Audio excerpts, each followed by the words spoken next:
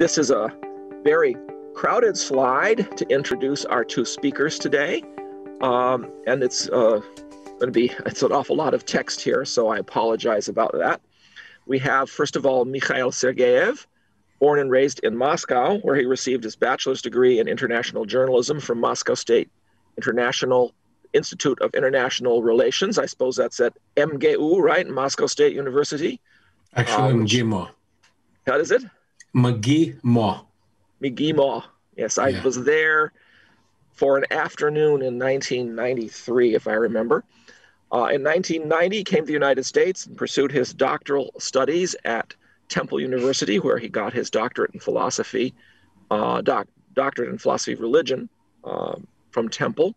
He currently teaches uh, religious studies at the University of the Arts in Philadelphia and received the President's Distinguished Teaching Award. He also is chair of the Wilmette Institute's Department of Religion, Philosophy, and Theology, co chair with Moojan Momen, and teaches our philosophy courses. Mikhail Epstein is a Russian American philosopher, a cultural and literary scholar, and an essayist. He's the Samuel Candler Dobbs Professor of Cultural Theory and Russian Literature at, at Emory University.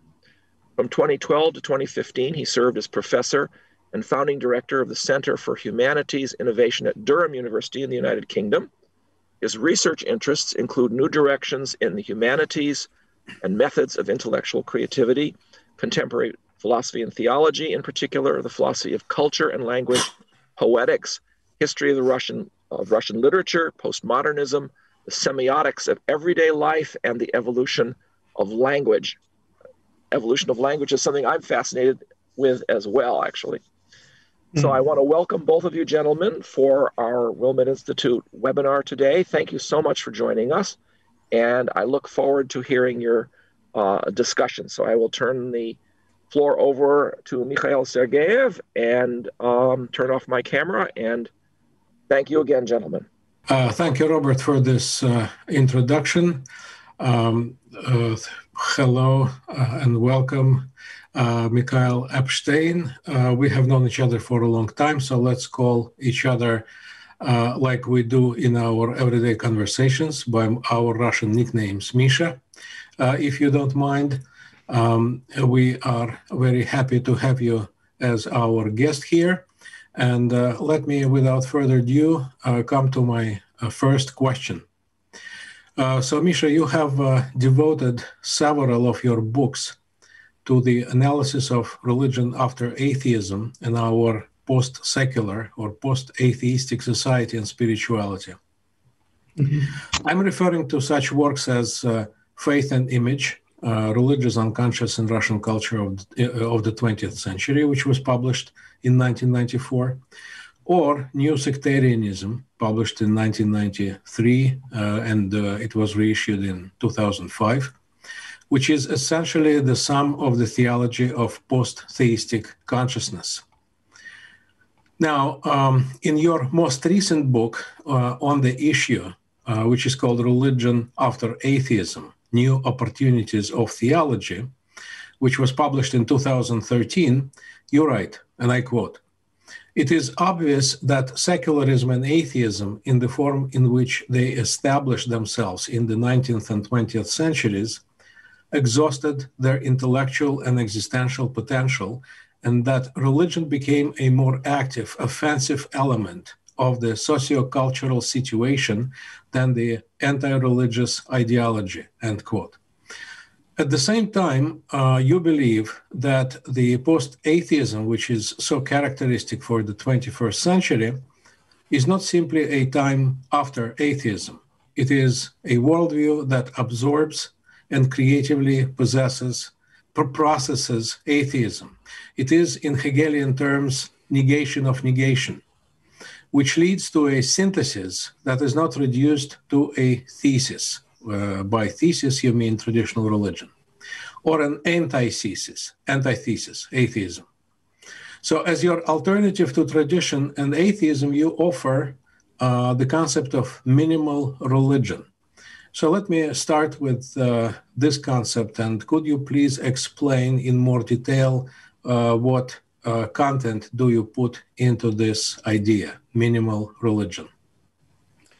Uh, thank you, Misha, and uh, I am very grateful to Wilmette Institute and to Robert, uh, Dr. Robert Stockman for making possible our conversation today, um, which uh, is very important uh, for me. Uh, first of all, because this is really a topic going throughout all my almost all my conscious life, and my thesis on poor faith. This is the original of minimal religion бедная вера, poor faith. And I would explain why I had to change it uh, uh, for the perception of uh, English-speaking audience.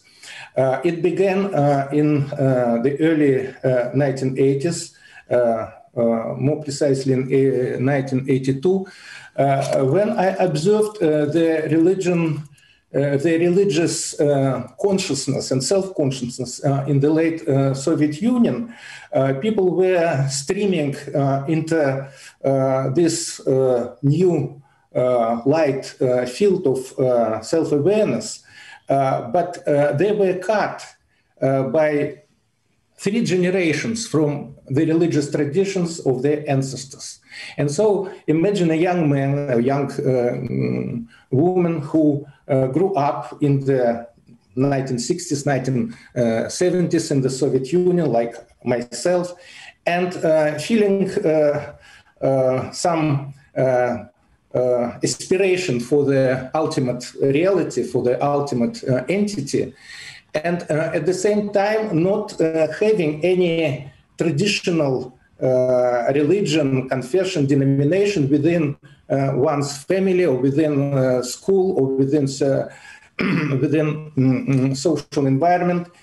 And in the majority of countries, people come to God through church. In our situation, people were coming to church through God. If they had this immediate, direct uh, attitude to the uh, personhood uh, at the foundation of the world, it was a unique situation, as unique uh, was uh, mass atheism in uh, the Soviet society, in equal measure, the post-atheism in late Soviet society was as unique.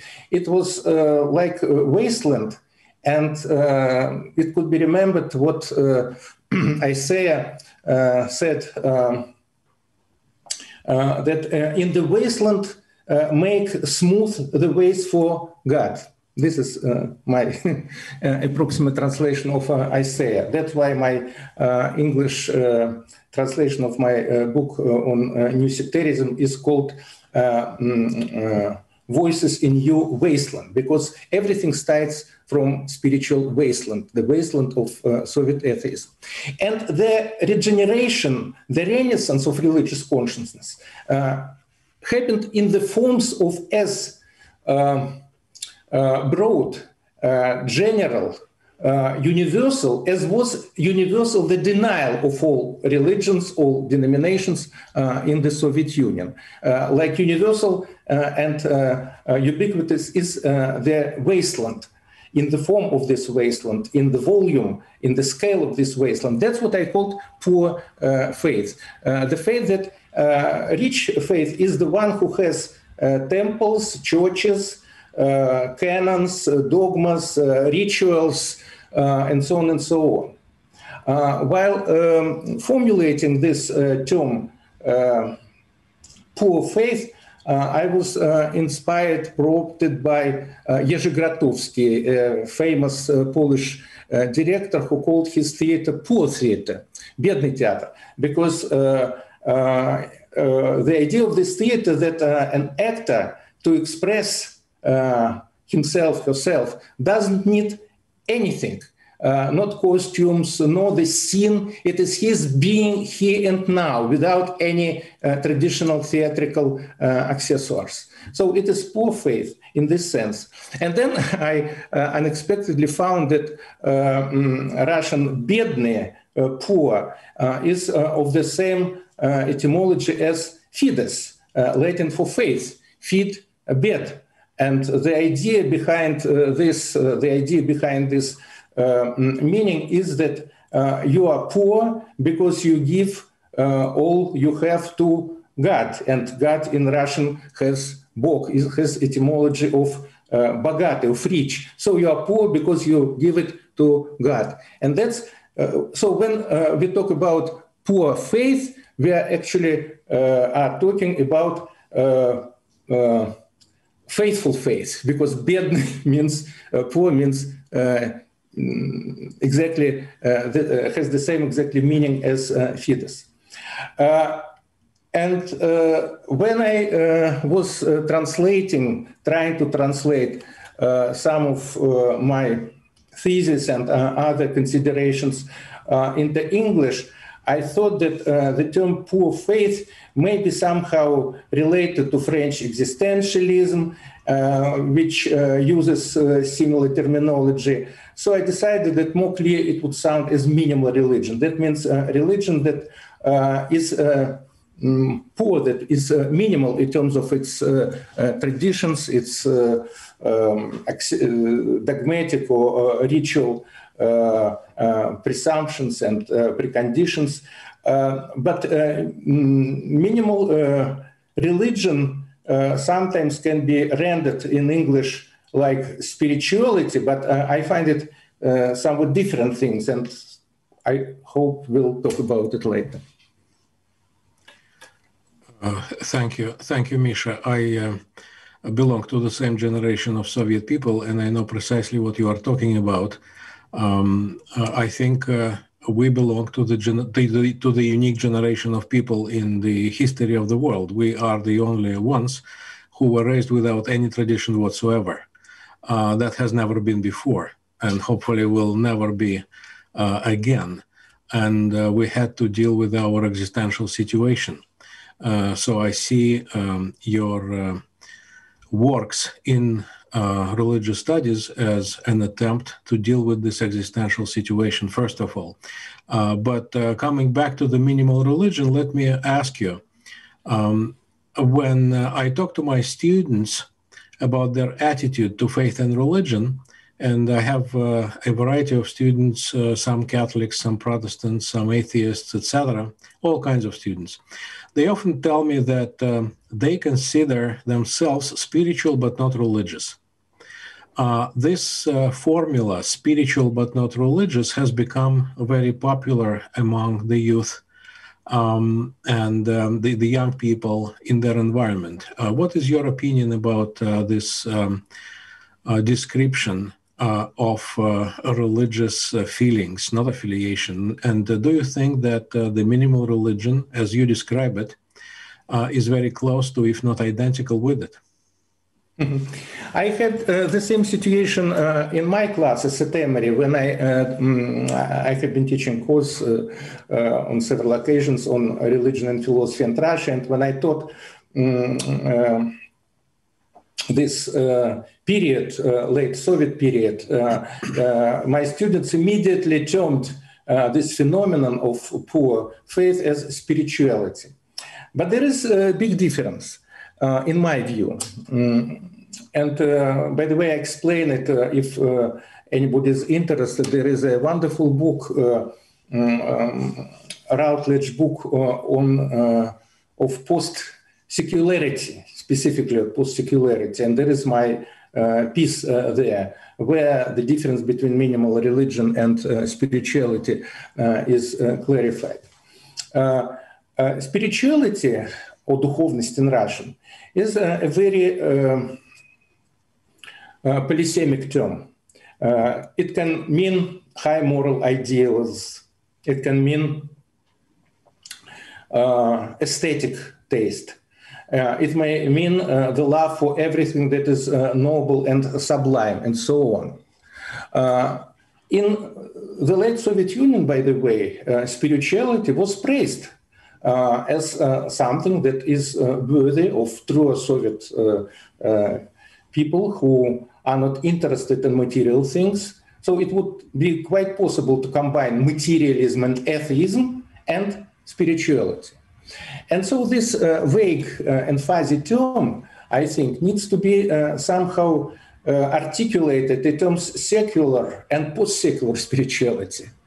And Secular spirituality is all embracing. You could love great books, you could uh, uh, go to uh, music concerts and exhibitions. this may be what is called spirituality. But um, post secular spirituality relates to religion, relates to faith. It has some religious component in it.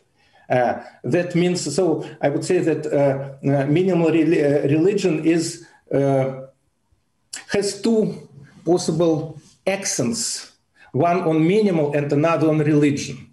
It is still religion. It is not just spirituality, it is religion, it is faith, it is acknowledgement, uh, it is confession of uh, super uh, uh material transcendent uh, reality, uh, which is personhood, what makes theism different from uh, uh, non-theistic religion and of course from uh, atheism. It is based in our feeling of the creator of the personality of the personhood who is i emphasize who is not that is or which is at the foundation of the world. But that's why it is a religion but it is a minimal religion and this makes it different uh, from uh, traditional uh, religion with its traditions, with its uh, uh, dogmas, with its uh, dogmatics, with its rituals, and so on and so on. So it can be called, in a certain sense, what Henri Bergson called um, dynamic religion, Uh, in uh, contrast with uh, static religion.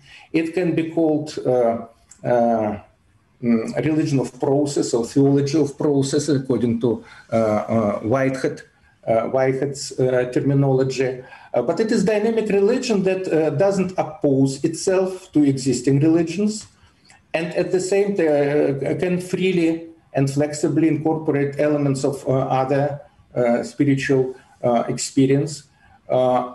And uh, at the same time, it is not just uh, secular spirituality uh, with uh, uh, good and sublime moral and uh, aesthetic ideals. And I would like to add something statistically.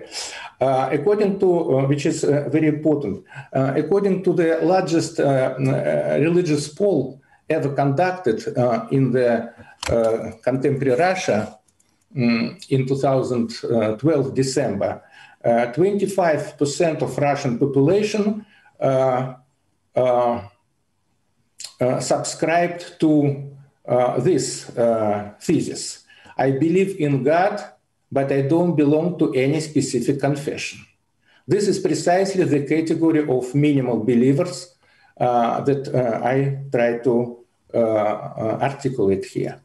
And this is the second non-confession, non-confessional type of religiosity uh, statistically coming after Orthodox believers who in uh, uh, comprise 41% of Russian population. 25% are non-confessional, non-denominational or unaffiliated believers, and only much down to this statistical scale come Muslim, Muslims with six and a half percent. The same, by the way, in the United States, very interesting. Uh, it's called religious nones. Nones means no belonging to any specific religion. Uh, about one quarter, uh, 25, 26%, currently, according to Pew Foundation, religious landscape of uh, the United States, uh, belong to religious nones. But within these broader categories, about three, uh, about three or four or four percent are atheists, about 3 or 4% are agnostics, and the rest, about 15%, they believe in God but don't belong, are not affiliated with any specific denomination. So they are precisely minimal believers. Interesting, uh, interesting statistics. Uh, look, as far as I know, uh, you went uh, further than just uh, to proclaim the idea of the religion. Uh, you told me once uh, that while traveling in Germany, you stopped in the city of Wittenberg, the city of Luther, Wittenberg Lutherstadt. And I was also there. I saw the church. Where he nailed his famous thesis, and I saw the hall where he delivered the lecture that started Protestantism. But you went even further, and at the front door of the church, to which in the 16th century Martin Luther nailed his famous thesis, uh, that laid the foundation of Protestantism, you posted uh, your own alternative 95 thesis of the minimal religion. Now, this gesture is uh, uh highly symbolic and represents uh, a conceptualist action, but uh, let me ask you about those 95 theses of yours. Isn't that too much for a minimal religion? Um, and what exactly are they? Mm-hmm. Well, mm, anybody who is interested can find it on the web. Just look uh, both in English and in Russian. In English, it was published recently in a collection. Um, uh, so just look uh, for faith or бедная вера. Uh, because uh, why so many? Because it was Luther's archetype, you know, to follow uh, Luther's archetype, the conceptual, so to say, background to this uh, action. Uh, but it has, uh, they are much more detailed than Luther's thesis, and there are section in it. what is poor faith, poor faith and science, poor faith and personality, poor faith and theodicy, uh, poor faith and uh, messianism, and so on and so on. So it's a, a kind of uh, rather consistent uh, explication uh, because 25% of Russian population 20, uh, almost 25% of uh, uh, American population. But they're silent. They don't have their own voice. They don't have their own theology. You know, let it be apophatic theology. Let it be the uh, like in uh, Dionysius uh, Pseudo Areopagite. But still, it should be some theology. So this is attempt of uh, uh, to theologize something which has no tradition, which has no, so to say, um, any great uh, theologian behind. Though at the same time, you could say that uh, uh, Pseudo Dionysius or Nicholas of Cusa were definitely, uh, especially those who belong to this tradition of uh, apophatic theology, negative theology, which describes not who God is, but who God is not. they could be, of course, attributed to this non traditional theology. So it takes uh, time. And also uh, in, at space, uh, um, these 95 uh, theses. Also, I address there some issues of tradition, how it relates to uh, Derrida's uh, idea of messianicity in opposition to messianism. so it has some background. I refer to Russian specific um, specific trans-religious, trans-denominational experience like uh, Leo Tolstoy uh, with his uh, version of Russian Protestantism, non-church Protestantism, with Daniil Andreev with his The Rose of the World, uh, which he called universal religion that embraces all existing religions. I uh, wrote a long article about Daniil Andreev. I, I admire his uh, personality and his uh, heroism, but I'm not uh, accepting his. In my view, totalitarian religious outlook. Or uh, mm, Grigory Pomerantz, who tried to combine elements. this is a Russian thinker of uh, the second half of the 20th uh, century, who died recently, who tried to combine different existentially elements of various religions. So I try to refer to um, to some precedents of uh, this type of thinking. And in particular, and uh, this is uh, my last point, I refer to um, Matthew Fox, who is a famous, was a famous Catholic priest and uh, then uh, he was excommunicated from uh, Catholic Church. And he was the one who, in the year 2005, also repeated um, Luther's gesture in Wittenberg and put fixed his thesis on, on the door of this church. But uh, uh, again, uh, with all my deep sympathy for Matthew Fox, who is a very popular spiritual presence in the contemporary United States, he turned 80 recently. look what he says in the very first of his thesis. number one, uh, number two. God is not only is not only a man, but God is uh, a woman, and so we have to uh, change our entire tradition of worshiping God as a man. We have to add this womanhood. Uh, femininity to the you see uh, i found problematic this kind of uh, theological correctness so to say theological correctness. Because in my view, you could talk about uh, gender in relation to the categories of the third uh, person. Uh, he or she, yes, he, she, or everything that can be between or beyond. But God is not thought, according to my uh, um, perspective, within the third person categorization. It is the first person uh, uh, when uh, God responds to Moses' question, how would I call you? how could I deliver your name to my people? The answer is, I am who I am. It is the first person of God, and the first person does not have a gender. You don't speak about yourself in the first person using gender categories. I of any uh, person, and that's make uh, God uh, I would say, transgender category, not in current terms, but uh, beyond this categorization, uh, because it is first person category, uh, completely different from what Matthew Fox in his liberal theology tries to proclaim. I see. So it seems to me that you are trying to give voice to the voiceless uh, people uh, who believe in God but who cannot uh, see your place in any of the existing confessions, some kind of uh, cry in the new wilderness. And you, you also talked about uh, how you address um, some of other um, other trends of thought that relate to uh, contemporary situation with religion. Uh, but um, could you please tell uh, us in more detail how do you feel about other variants of post-theistic uh, theology and post-secular consciousness? Uh, let us consider the examples which you discuss in your book. Uh, I'm referring to the theology of the death of God by uh, an American theologian, Thomas Altizer, or Altitzer, I'm not sure how to pronounce his name, with whom you conducted extensive correspondence.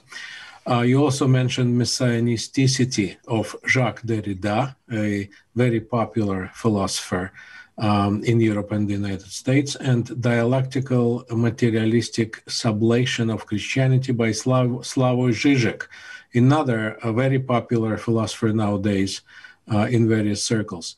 Um, in your book, you write that, um, I quote, in this new atheology, as if bracketing the opposite of theism or, or an atheism, the death of Jesus is interpreted as a radical self removal of God from the world and history, and thus atheism becomes the most accurate statement of this worldly faith, denying God's outside being.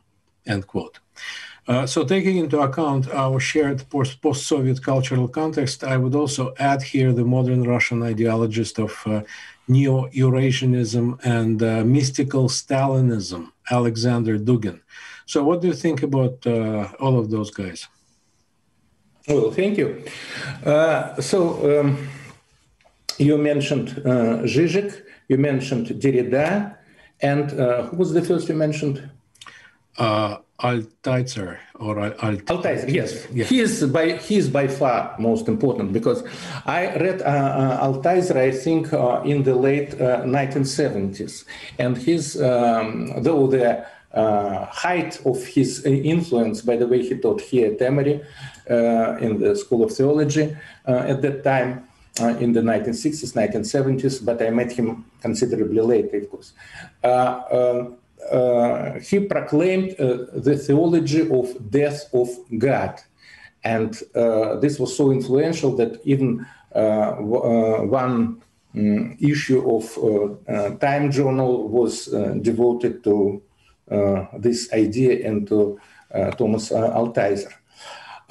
he believes, and this is not quite, so to say, not absolutely original idea. He follows in the steps of Dietrich Bonhoeffer uh, in his uh, Protestant uh, uh theologian from uh, Germany who died in concentration camp, uh, that we are entering, and in certain sense, and quite consciously, he follows, of course, Nietzsche's God is dead, yes?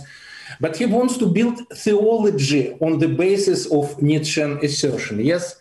The, the fact that God is dead doesn't mean that we shouldn't theologize, theologize about this. Why? Because God was dead in history.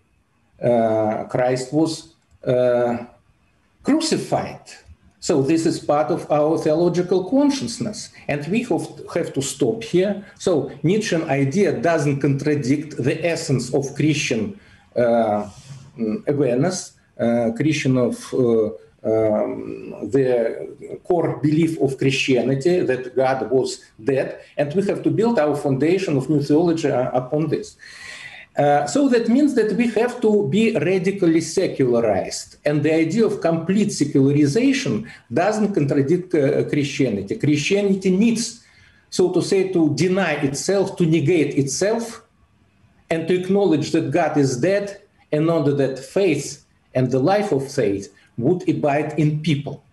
Like really people, while they are children, they uh, follow the prescriptions uh, and advice of their parents. But when uh, this child becomes uh, adult himself or herself, and parents are away, he has, so to say, to interiorize uh, their wisdom, uh, their uh, authority, and this is the situation of humankind after the death of God. We have to become conscious and uh, radical secularity means uh, radical uh, adulthood, radical maturity. And I read it, and it was, uh, on the one hand, uh, very fascinating, but deeply wrong, in my view. Because if we follow this, so to say, natural historical uh, process, we know that God died in order to be resurrected. And where is this stage in the reasoning of new theology. Yes, why we can accept this step, the theology of dead God, the theology of death of God, but what comes the next? And then it, so to say, united in my consciousness that we are living precisely in the age of resurrection of God. Yes, he was dead. He was dead in the Soviet Union. He was dead in uh, Nazi Germany, uh, where Bonhoeffer, so to say, to came up to this idea of uh, uh, spiritual adulthood of uh, humankind. But we are now not in a secular era. We are now in post-secular era. And what would be theological language appropriate to this post-secularity? And we had a long correspondence with uh, uh, Thomas uh, Altizer. Then we met here. He came when he was already 80 uh, to deliver a lecture at Emory, so we talked with him, and uh, I published the translation of our correspondence in uh, this book, Religia после атеизма, in the end as an appendix. Uh, so he is uh, he was very much enchanted by Russian Revolution, uh, enchanted by Nikolai Berdyaev, who tried to um, theologize uh, on Russian Revolution and on the lessons of this uh, radical denial of God. But he stops here. And this was uh, the issue of our conversation and of our controversy. because I believe that when we are talking about Christianity, we have to um, keep in mind what is called in uh, Old Slavonic paki the second uh, being or palingenesis in uh, bookish English. Uh, that means resurrection, uh, the life after death. And this mm, second life of God, not in the body of traditional churches, different body now, indeed. Because uh, res- resurrection happens in a different body, not in the same body that existed before death. It's mysterious body. And this is mysterious body, what I try to describe as uh, poor faith. That means not in the body, not in the flesh of traditional churches uh, and uh, other uh, uh, dogmatic and denominational traditions. What is the flesh of this new existence of God after his death? Uh, so this is my, so to say, response to Thomas Altizer. Uh, uh, regarding mm, Derrida, uh, whom uh, you named uh, first, Derrida never could decide. He was a, a man of genius, Э, э, intellectual, philosophical, and in a certain sense, a theological genius. But because he was so much, in my view, he was uh, so much limited by the liberal uh, theology uh, of the West, he couldn't speak it out completely. So he, uh, he, he cannot decide what is it uh, the deconstruction of religion. What means deconstruction of God? Is it atheism or is it negative theology? He couldn't decide. So he gives you is it a radical uh, den- uh, denial of the existence of God, or is it such a ne- negation of the existence of God in the sense of Dionysius? Uh, Pseudo Dionysius, who says God doesn't exist. And this is the uh, cornerstone of negative theology. God does not exist, coincides with atheism. Why? Because God doesn't exist in the same sense in which the table exists, this house exists, this uh, city exists, not, not in this sense. This is the essence of apophatic negative theology. Yes, and Derrida couldn't decide, in my view, uh, trying to psychologically penetrate into his uh, mental condition. Uh, what it is really? Is he atheist or is he a negative theologian? And uh, in the manner of, uh, so to say, uh, shimmering intellectual utterance, he says both this and that things. But um, regarding the issue of messianism, uh, I quite accept what he said that you need to differentiate between uh, messianism and messianicity. Because messianism, which is traditional in uh, Judaism and Christianity and uh, Islam, he believes in the uh, coming arrival of uh, the Messiah and expects it to come in flesh. Whereas messianicity is, so to say, openness to the possibility, possibility is the uh, crucial word, to the possibility of Messiah, but doesn't preclude the, uh, the non-coming. It is, uh, uh if you are a very hospitable personality and you live uh, in a house, your door are open, and you uh, presume that somebody can come and maybe not come, and you are ready to accept the guest, whoever he is. Uh, so this is what uh, Derrida understands by messianicity. We are open. Our openness creates the, the, structure of civilization, the structure of spiritual world. But who enters this door? And if enters or not, this is not uh, predetermined. And this reminds me, of course, the uh, Godot, the Samuel Beckett's, yes. Beckett's uh, uh, Godot, or God, so to say, yes, if you uh, uh, put it in a letters in a different way uh, because they're waiting for God and uh, they don't know if he ever comes or not, or she comes or not. And uh, my point is that it's not he or she, it's I. But uh, uh the point is openness, messianicity. Uh, Slavoj Žižek is a little bit comic figure. He is clownish in his theological constructions, but it's okay it's okay. Uh, he suggests that the most consistent and radical act of Christianity, again, having in view the death of God, would be to complete destruction of all churches, of all traditions, and dialectical materialism is the most radical form of Christianity, according to Zizek. Yes, uh, because dialectical materialism is uh, uh, assumes only this existing visible material reality, and this is the radical gesture of Christianity with the death of God on the cross. We are living, uh, God left us with uh, the material world as it is, and we have to accept it. Uh, I think this is a kind of, I would say, philosophical madness because uh, what I uh, believe uh, true regarding the minimal religion that it doesn't exclude mm, but presupposes the existence of non-minimal uh, uh, religion, you see, and interacts, uh, interacts with the experience of other traditions, with uh, Christianity, with uh, Judaism, and so on and so on, uh, incorporate some of its elements, to exclude some of its elements. It's a living, it's a living new body of God who died and now resurrects. And we cannot exclude anything that already exists and to destroy it uh, in this uh, radical clonish uh, clownish gesture that um, Zizek offered.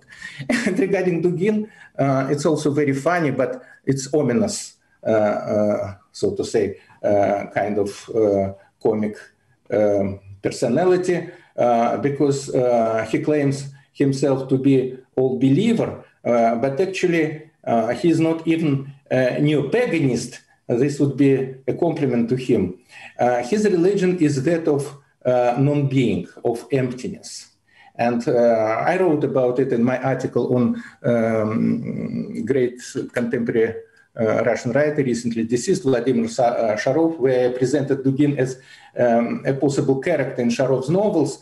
Uh, uh, if you read attentively Dugin, I'm not going to, to dwell on him much, but what he wants in his very contradictory statements actually is non-being, ultimate uh, destruction of everything, because only through this destruction uh, we can unite uh, the world. Only non-being is the ultimate form, uh, form of um, this uh, unification. And he calls it uh, the philosophy of Chevengur. He believes that Platonov is his major hero, not Platonov, but Platonov's heroes, Chevengurians, um, who uh, try to destroy, undermine. The, it's Gnostic, I would say. Maybe he, he could classify it as gnostic, but very ominous gnostic of today's, because the complete destruction and annihilation and uh, nuclear war uh, ultimately is uh, his uh, religious ideal. So. Sounds uh, very Russian and very apocalyptic. look, yeah. let us turn to some other Western uh, expressions of what you think um, uh, is minimal religion. So, for example, um, in um, one of your books, you write that uh, the belief in the half fallen angels as messengers without message uh, somehow reflect, uh, you know, the what you call the minimal religion, this uh, angelology, uh, which is trying to overcome the schism between monotheism, polytheism, and agnosticism. So, how do half fallen angels relate to faith without religion? You see, there was um, such a. Um, uh, there was film by Wim Wenders, uh, Wings of Desire, in the late 80s, uh, who laid foundation for tradition of presenting angels, and it was uh, really influential. Uh, there were other films uh, for example, City of Angels. Angels come from nowhere. They're angels, they're messengers, but they don't have any message behind them. They are, so to say, orphaned uh, angels. And uh, they come to people and they teach them some um, wisdom, some spirituality, but uh, at the same time, they uh, are taught by people, by human experience. This is the figure of angel uh, who doesn't belong to the heaven doesn't completely belong to the earth and uh, is a stranger in this uh, uh, interlying intermittent uh, area. Is in my view very uh, typical for uh, contemporary spirituality. And in general the statistic says that 8 million of americans met angels. Mm, they have this experience of meeting angels and in fact, uh, I would say that in a certain form, 100% uh, of Americans and uh, of all population of the world has met angels because our civilization, in a certain sense, is angelic. because we endowed our technological um, instruments, uh, contemporary civilization, if looked upon uh, from uh, the Middle Ages or from antiquity, would be perceived as the world populated by angels. Uh, like uh, aircraft uh, and trains and rockets and telephones and video and internet, the possibility to see uh, people who are at the distance of uh, uh, many miles away from you. These are angelic essence of our civilization when material life is endowed with its own spirituality, angelic spirituality. So there is even such a term, angeloid. Angeloid means as if uh, angel. And uh, um, this situation is, uh, mm, has its own uh, religious uh, implications because in traditional theology, angels are those who are messengers of uh, God's will. Yes, uh, they deliver God's message to people. Yeah. Here, they don't have message. They are like traces in uh, famous uh, Derridian philosophical category. Traces of some, not signs, because signs have, of course, signifieds, but traces, traces of some supreme presence, but have uh, without any specific signifieds. It is not polytheism. It is not, uh, so to say, cult of uh, some uh, elements of the earth, and cultivation, spiritualization of them, but it is also not monotheism. It is be between polytheism and monotheism. This is specific angelic uh, uh, spirituality that, in my view, is uh, very much inspired by technological status of uh, contemporary civilization as, uh, so to say, elevating the materiality to the level of some uh, being ve vehicles for uh, certain uh, informational, spiritual, uh, intellectual processes, like angels are. so this is one of the aspects, maybe not the most important, but essential aspects of this religiosity, which is not uh, traditionally monotheistic, is not traditionally uh, polytheistic? Um, okay, uh, look, I, I, can give you that a significant portion of the population, both in Russia and the United States, you say about the quarter of the population, um, do not belong to any religion, but at the same time, they are not atheists. They believe in God, but uh, they have no tradition, they do not participate in rituals, etc. But uh, isn't that too early to uh, actually uh, bury atheism itself? Since uh, uh, in the beginning of the 21st century, we have a new wave of atheism, the so called new atheists. Uh, the so-called four riders of the new atheism, as their opponents have labeled them. I'm talking about uh, biologist Richard uh, Dawkins, uh, late journalist Christopher Hitchens, philosopher Daniel Dennett, and neuroscientist Samuel Har- uh, Harris.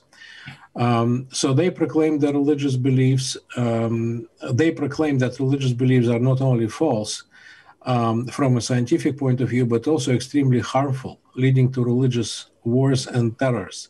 So, how, signif- how significant, in your estimation, uh, are the ideas and the overall movement of the new atheism in our post secular mm-hmm. world? Mm-hmm.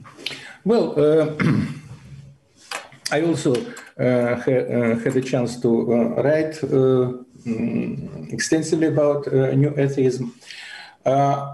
First of all, it seems that they forgot the lessons of, of the 20th century, where atheism uh, first of all, communist Soviet atheism uh, was accountable for the world uh, wars and collapse of civilization in the mid 20th century. So they uh, claim that atheism is uh, so much uh, spiritually higher and peaceful in its intent than religion.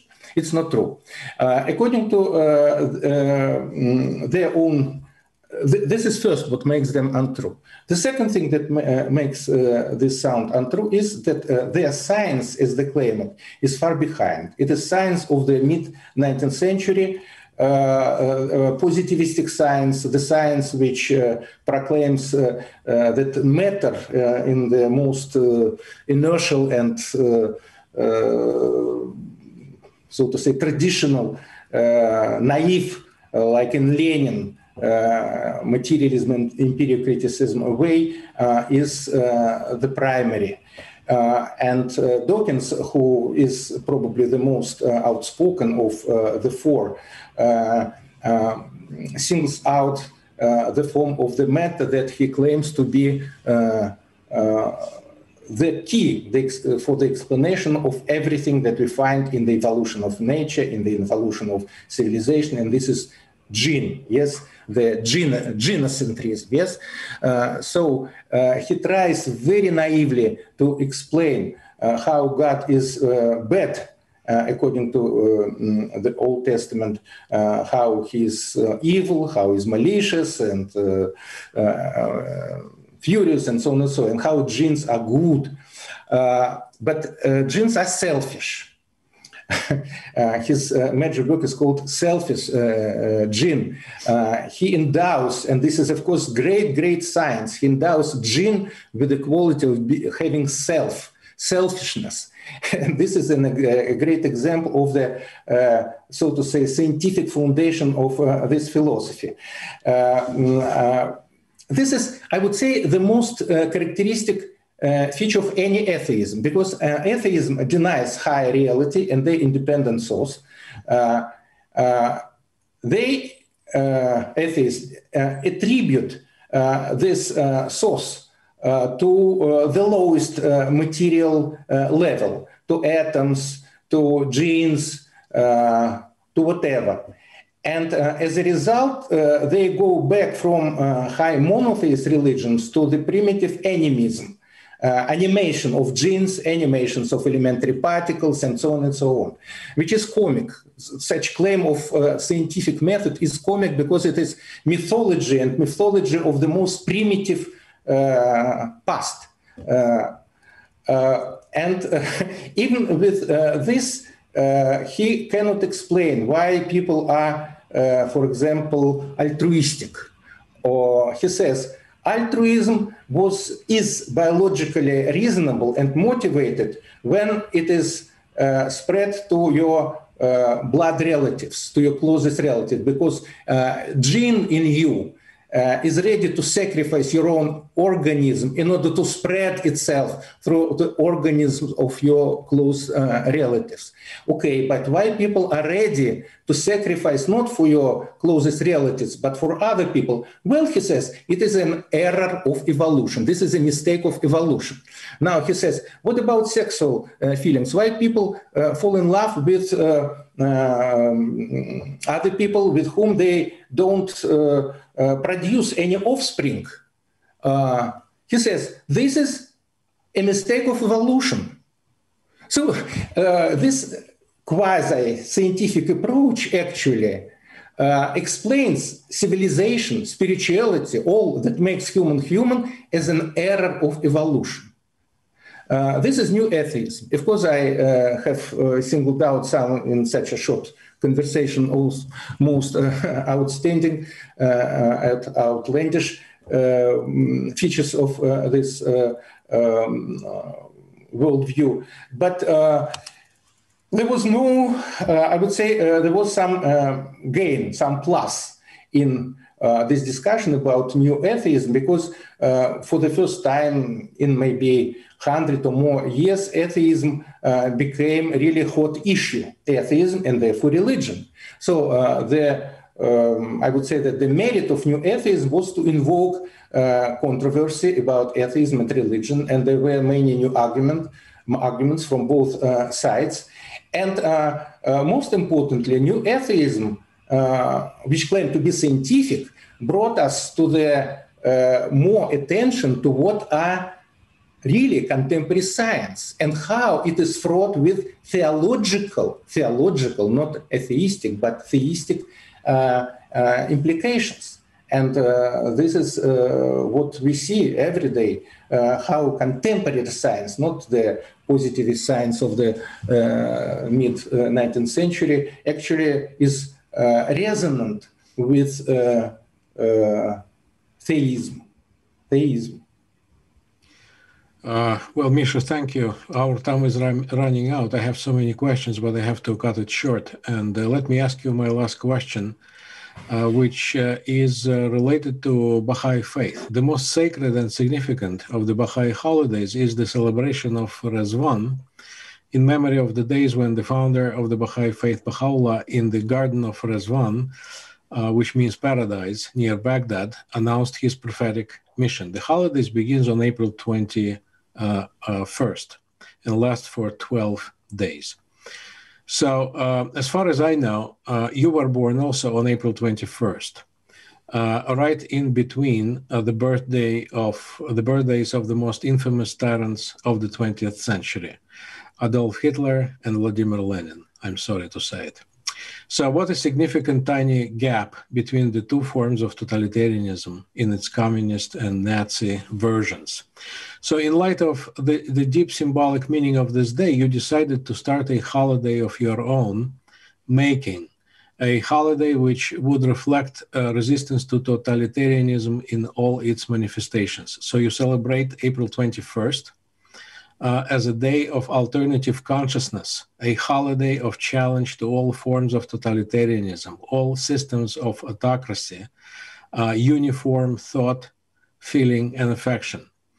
Uh, in my opinion, uh, the parallel between the Baha'i faith and the alternative consciousness uh, day would be very appropriate since uh, this modern religious movement positions itself indeed as an alternative to the long established religious systems.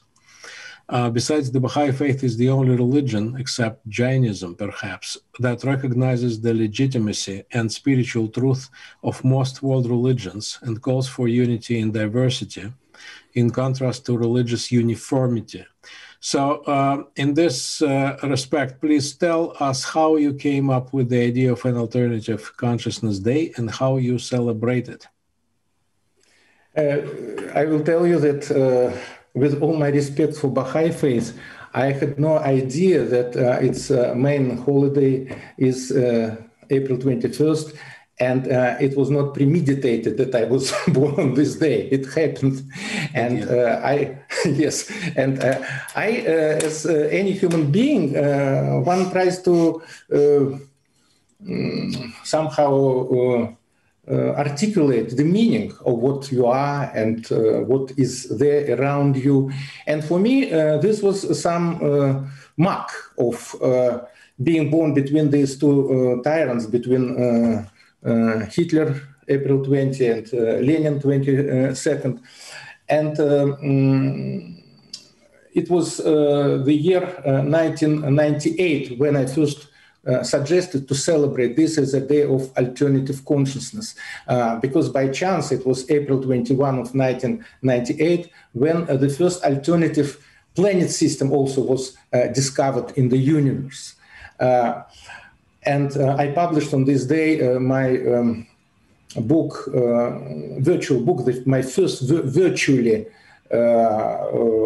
formatted book with Russian journal, which is Ruski Journal, which was uh, the first Russian internet uh, journal of magnitude, uh, called the, the Russian Review. The Russian Review, yeah. Русский журнал, русский журнал, yeah. uh, which was uh, encyclopedia. It was called uh, a book of books, encyclopedia of alternative ideas, alternative ideas. So this was the first attempt to uh, give some alternative or alternativistic meaning to uh, this day. And uh, I was uh, quite uh, unexpectedly uh, heartened to know that somehow this tradition by the paths that are not quite known to me reached the stage where United Nations announced April 21st uh, the day of uh, global creativity and innovation in the year 2017. So, since you can look in, on the web, 21st April, the mm, day of uh, creativity and innovation. So, uh, what is uh, meant to be I imagined it as a space for intellectual discussion, uh, intellectual uh, discussion and uh, performance, uh, cultural performance that goes beyond uh, any established borders. Uh, it is not just interdisciplinary, it is inter-religion, it is trans cultural, it is trans-linguistic. Where we abide within all other days, we have to cross this uh, space and to get into this space of communication, something alternative to uh, yourself, to your habits, to your traditions, uh, to your identities. You see, to sacrifice your identity at least for uh, one day in the year for exchange with other identities. And whatever forms are offered uh, for this, uh, it is uh, already secondary. What is important to understand that you are more than you are. And uh, if you are interested to look again, there are some materials and a page in Facebook devoted to this uh, Day of Alternative Consciousness. All right, thank you very much. I think now we can open uh, our floor for a general discussion. Uh, Robert, are you coming back to us or? Uh... Yes, I can come back. Um, though the two of you may be able to handle the questions. Yeah, I, I see. I see. Well. I see the questions. Yeah. So, Misha, I have uh, several questions. Uh, the the first one uh, from Alexei uh, Burov. Um, Misha, do you think that responsibility is the border between spirituality and minimal religion? Uh, can I find these questions where? In, in the chat? Uh, or in sure. uh, questions? No, ah, yes, see. This, this, yeah, yeah, this yeah, question yeah, is not I, in the chat. Yeah, it's uh, there are two categories: chat and uh, rubrics. Chat and questions yes. and answers. Yes. Uh, responsibility is the border between spirituality and minimal things. Well, responsibility there are many borders, but uh, uh, responsibility is a moral category, and I don't think that uh, it is only religious consciousness or minimal religious consciousness that provides you with this. Um, I would say audacity to be responsible. Uh, so I would say that uh, responsibility is uh, beyond this uh, frontier between secular and uh, post-secular. It is common to them. Uh, like many other features of spirituality are common to secular and uh, post-secular spirituality. But for me, again, the distinctive feature of post-secular spirituality is that it is still religion. By the way, I missed this to say, but it's very important.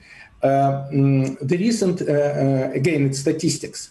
About 25% uh, of American population say that uh, they are spiritual but non-religion, not religious, spiritual but non-religious, and 55% of population say that they're both religious and spiritual and uh, about 10% say they're religious and non-spiritual. So we see here clearly the borders between religiosity and spirituality. They can be combined but not necessarily. Some people are spiritual and not religious, and some are religious. That means they're observant, they go to the church, but they're not spiritual. That means that they don't have their own source of spiritual uh, life except for the church. Uh, so I think the border uh, exists, uh, uh, but uh, not precisely related to responsibility. Okay, thank you. Um, Seraphim Winslow is asking Misha whether you are associated with the university or academic institution. He probably missed the beginning of our webinar. So could you please tell us again? Uh, well, I'm teaching, I'm a professor of cultural theory and uh, Russian literature at uh, Emory University. Thank you. Um, uh, this is a comment rather than a question uh, from uh, Seraphim Winslow uh, people who say that they are spiritual but not religious are like people who say they like food but they hate to dine in restaurants. Maybe any, any I like the, I like this metaphor. Yeah, they they like to eat the food that they prepare themselves. Yes, maybe. um, Dmitry Shalin wants to uh, ask a question, uh, but um, unfortunately, our format does not allow asking questions directly. Um, if you want to ask a question, you should uh, write it down in the chat. So please do. Uh, I, following James, I focus on this worldly manifestation of faith on how your belief in God reveals itself in your actions or and feelings. For instance, Southern Baptists tell us that they are committed to family values, that their beliefs are informed by the scripture and Christian God. I say, I say very well. Let me see how your family values manifest themselves in your everyday life. Uh, this would give me a better idea about uh, your religious commitment. As I look closely, I discover that the divorce rate among Southern Baptists is higher than average. Domestic violence is common. Child abuse is a serious problem. My question then is why should I judge Southern Baptists' faith by their proclamations rather than by their actions, which bespeak family values in some respect inimical to the Christ teaching? Okay. You see, uh, uh, I'm sorry, I know very little about Southern Baptists, but uh, I know uh, that uh, mm, what uh, Metropolitan Antoni Surozhsky told me once when I talked with him, Uh, and this relates to the essence of your question, uh, but not specifically uh, Baptists, but Christians as well. he says that uh, mm, every uh, uh, Christian, and this is part of his belief, and this is part of explanation why Christ was crucified, is that he provides a, a negative example of his faith to others. Uh, because uh, this is what makes a human being uh, sinful. And mm, it's not a political issue, it's an issue uh, that uh, doesn't, uh, I would say, refer to any specific denomination.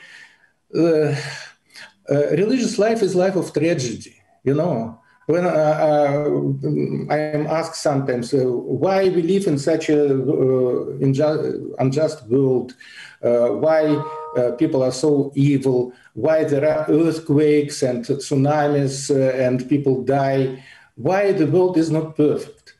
Uh, my answer, one of my answers, would be uh, because there are different, uh, if God is creator, you know from literature, there are different genres of creation. And the genre of the creator is not idyllic, it is tragedy. And by the way, the greatest uh, human authors of uh, literature worked in the genre of tragedy. Uh, Shakespeare, Goethe, Dostoevsky, Aeschylus, and so on and so on.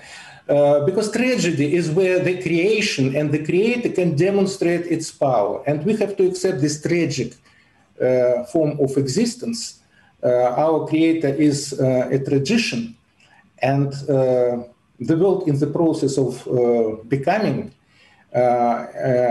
it's. I also talked with some one of great theologians, British theologians, who tried to explain, and it is quite, um, I would say, uh, uh, established in theological milieu to explain uh, all this injustice and evil in the world, the problem of theodicy, how to uh, justify God, uh, Almighty Creator, who put us in such a world full of evil. He says because of our primordial fall, because uh, humans uh, uh, had chosen Uh, this, uh, seduced by the serpent. But what about, again, earthquakes, uh, natural disasters? there is no human fault in this.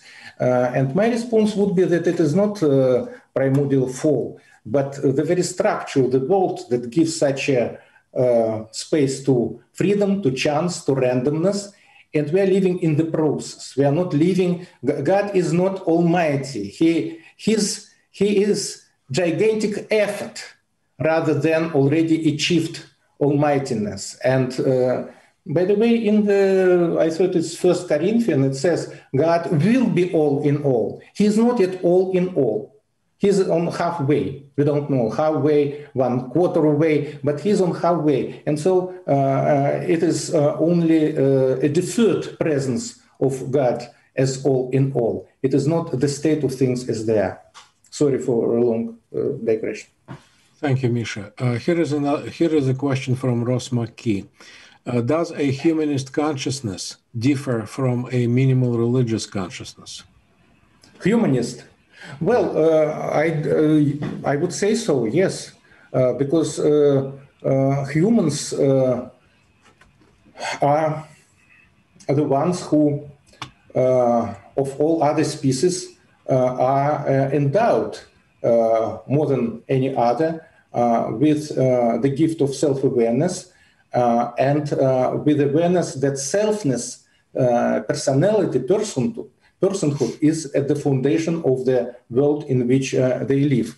Uh, so, uh, in my view, in our days, the very word human and humans has some, I would say, heretical underpinnings because, well, humans, like in the early Bolsheviks days, like in the 1920s, you know, humans is abstract humanism. Who are you? Are you a worker? Are you uh, a feudal? Are you uh, a landowner or descendant of them? Are you bourgeois and so on? I would say that we now have a special, very special reason to be proud of being humans. It's not abstract. It's something that uh, uh, unites all of us across uh, all borders, including class or ethnic borders. And I would say that to the degree that we are self-aware of our human identity, we are predisposed to understand our uh, transcendent uh, identity, that we are uh, brothers not of the dead father, but of the living father. Otherwise, the very category of brotherhood is or sisterhood is meaningless. Uh, a series of questions from uh, Elena Corrigan.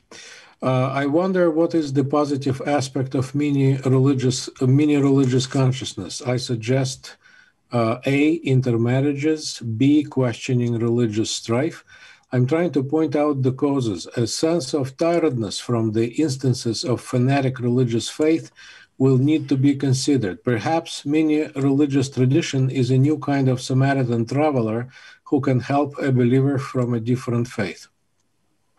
Well, uh, exactly.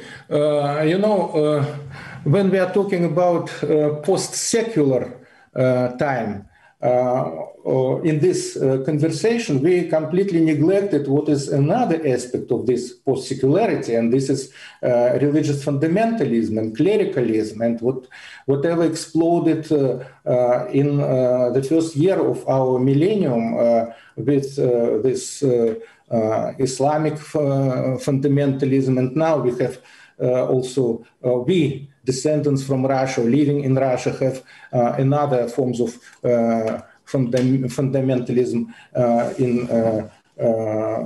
post. It, it's not quite fundamentalism. I call it religarchy, the, so to say, the uh, synthesis of the state and the religion. Uh, but we have many other forms of uh, post secularity. And by the way, let me remind you what Dostoevsky prophesied and his brothers Karamazov in the Mm, Grand Inquisitor chapter, he said, well, there will be time, uh, the Grand Inquisitor addresses uh, silent Christ, he says, uh, there will be time when, for the sake of satiety and for the sake of material uh, uh, pro- prosperity, you will destroy our churches and all priests will go underground. But then they will understand. And this is description of communism. This is description of soviet people. and then they will understand that it is impossible to feed uh, people uh, and they will come for us uh, for priests who will be uh, hiding in catacombs uh, in caves and say come to us because those who denied god they deceived us. We want you back. And then the Grand Inquisitor says, we'll build, we'll finish building this uh, uh, Tower uh, of mm, Babylon, will finish what you failed to achieve. And this is, uh, uh, of course, a reference to new totalitarianism, not uh, atheistic totalitarianism, but quite theistic or religious totalitarianism, which is part of religious landscape of the uh, 21st century, beginning again from the very first uh, year of this uh, century and of this millennium. So the prophecy of Grand Inquisitor, very ominous prophecy, goes to our days, not only to communist era of atheistic totalitarianism, but the post-atheistic, post-secular totalitarianism.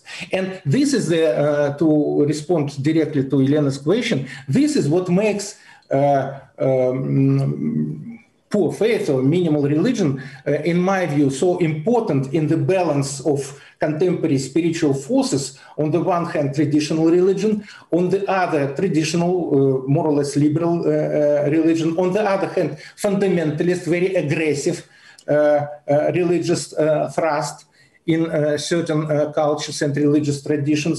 And there is this post-atheist, post-secular uh, spirituality that tries to oppose it, uh, to, tries to, uh, uh so to say, to uh, restore religious consciousness not in traditional forms that are so uh, susceptible to totalitarian and fundamentalist distortions, but in more free and creative and inspirational forms.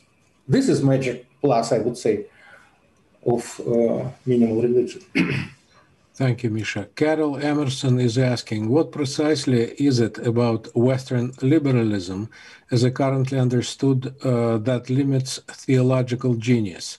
This is in relation to your uh, astute comments on Derrida. Okay, thank you. Thank you, Caryl. Uh, when we are talking about liberalism, Mm, we are uh, more and more moving into some very uh, fuzzy area because what is liberalism today?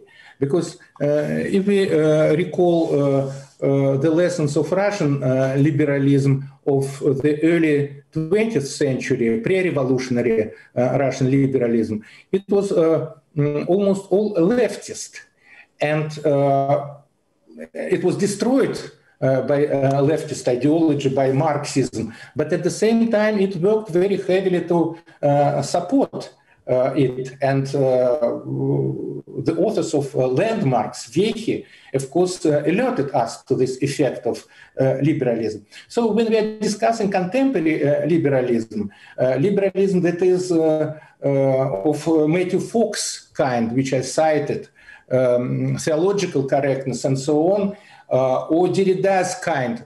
I, I don't have anything spe- special uh, to say about Derrida because I don't know his uh, uh inner world and uh, what he thought exactly when he advanced this concept of messianicity. Um, uh, but I think that he was a very of a person of deep conscience and deep consciousness. Uh, who was brought up, of course, in this liberal tradition of atheism, liberal atheism, uh, atheism as a mark of uh, liberalism.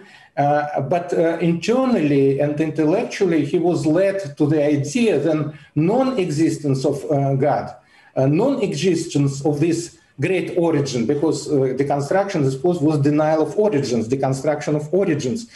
But this denial of origins may be some way of oblique oblique uh, acknowledgements of this uh, uh, origin in forms of negative theology. Um, God doesn't exist in the manner of material things, but because uh, he is uh, not existence, he is not reason, he is not light, he is not anything of what we know. Yes, and I think that ultimately he came or was on his way to come to seeing deconstruction uh, as a form of negative theology. But it is my guess. Uh, thank you, Misha. Uh, our time is running up. We have uh, more questions, but I am sorry not to be able to include all of them. Uh, guys, uh, those of you whose questions um, remained unanswered, number one, you can always ask this question um, when this video will be put on YouTube. Um, so that's one way. Uh, and uh, also another way is to participate in uh, our follow-up Russian version of this conversation. Um, so hopefully then we will be able to answer all of the questions. so let me thank you. Let me thank you, Dr. Mikhail Epstein, for this talk. Um, uh, I think uh, it was uh, it was very stimulating and thought provoking. Thank you, uh, Mikhail, and thank you all uh, my friends and colleagues who came uh, uh, to participate uh, uh, in this conversation. I'm very sorry that it was not as visually engaging as it could be. Maybe we'll correct it some time later. But thank you so much for your most interesting and thought-provoking questions. And let me thank both of you for offering this program on our Wilmette Institute webinar series. I thought found it quite fascinating, and I'm very grateful for your participation in this series. Look forward to continuing this series in various forms in the future as well. Thank you. Thank you all. Thanks. Thank you, Robert. Yeah, thanks.